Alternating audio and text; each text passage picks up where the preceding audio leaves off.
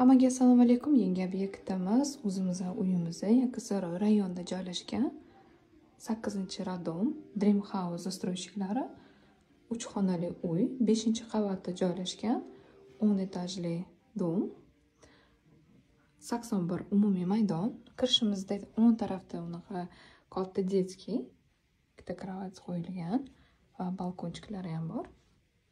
Mana bunaqa детский remont judayam sifatli qilingan. O'zimiz mehr qilib anaqa uy qilganmiz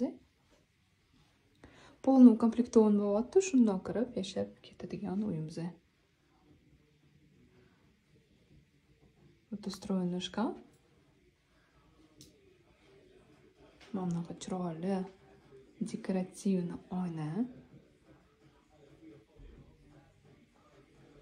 Bu yog'ida zal har bitta xonada konditsioner bor.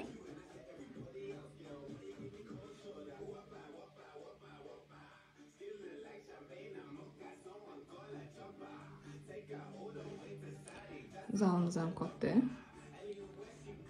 kimdir xohlasa misol uchun mana bu mebellarni olib qo'yib stol stul qo'ysa ham bo'ladi. Hozir unaqa ko'p mehmon kutadigan paytlar bo'lmayapti. Bu yerda oshxonamiz. Kimdir просто e, oshxona bilan zal bitta qilishadi. Biz ham mana bunaqa раздельно qilganmiz e, o'shaning uchun oshxona unaqa katta emas. Зато alohida bo'lib turibdi. Hech qanaqa hidlari ham bo'lmaydi.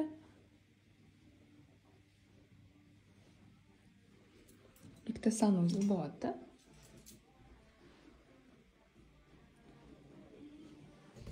Patachamda ishlatilgan. Bu yerda общий санузел.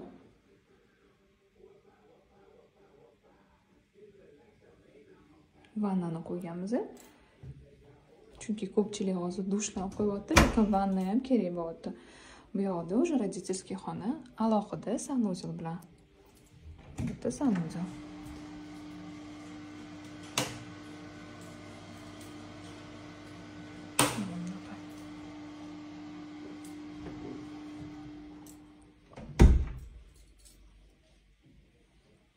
Xonalar judayam keng katta bunaqa kichkina emas